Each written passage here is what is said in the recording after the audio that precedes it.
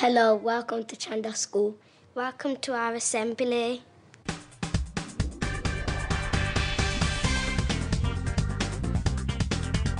The purpose of this particular assembly is to elect three members from Year 6 to represent the school in the local area school councils and to come together as part of the Citizenship Forum. If elected, I'll campaign for more green areas. I'll do whatever I can to stop drought. The election is for to be a citizenship councillor to help our community and our city. This morning's assembly was about the Citizenship Council where you had to write, write a speech and then you had to say it in front of the juniors. The Citizenship Forum is a range of schools in the locality who each elect three children to come together for a meeting every term and once a year they go off to the council house to present their findings and to talk about their local area with the councillors.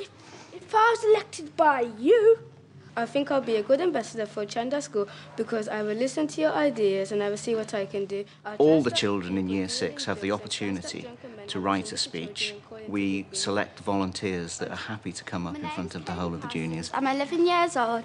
This year we had 16 children who wanted to present the speech, so they worked in detail on theirs. They took them home, uh, practiced with family and friends, brought them back in, presented them to their classmates, and then we presented their speeches to the whole juniors. I think they need a big clap. Assemblies are always a very important focal point of any school.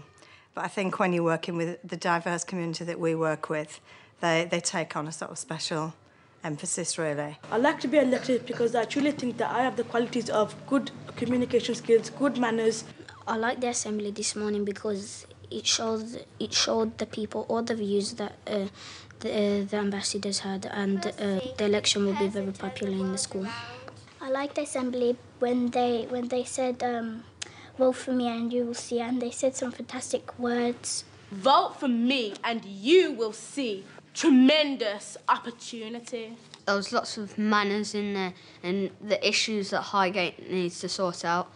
It just gives you an opportunity to like do something that you've never done before. My name is Zachariah Abraham and I'm 10 years old. First, we had to like think about our speech and what we were going to write and think of a slogan. I would really like to clean up our area and make people proud to be citizens of Highgate.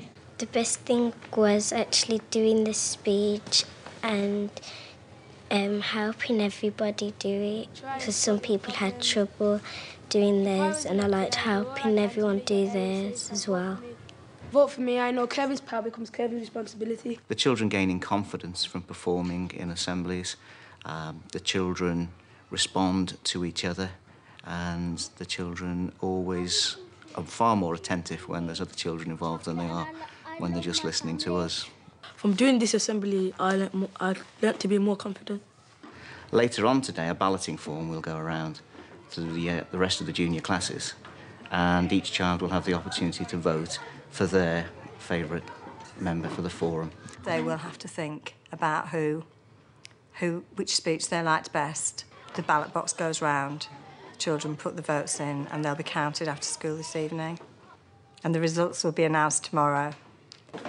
The three children who receive the highest number of votes will be selected to go through to represent Chandos School in the local area with a range of other primary schools. I think elections were important because uh, it, it shows the grown-ups that kids can have views as well and they can uh, make a difference.